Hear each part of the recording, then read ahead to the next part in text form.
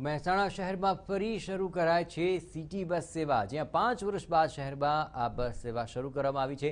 નગરપાલિકા દ્વારા શરૂ કરાયેલી આ સેવાને નીતિન પટેલે લીલી ઝંડી આપી. મહિલાઓ અને દિવ્યાંગો વિના મૂલ્યે મુસાફરી કરી શકશે. સિનિયર સિટીઝન અને વિદ્યાર્થીઓ માટે પણ નજીવા દરમાં મુસાફરી રહેશે. મિનિમમ ટિકિટ પાંચ રૂપિયાથી પંદર રૂપિયા અને સવારે છ કલાકથી રાત્રિના દસ કલાક સુધી આ સિટી બસ સેવા કાર્યરત રહેશે.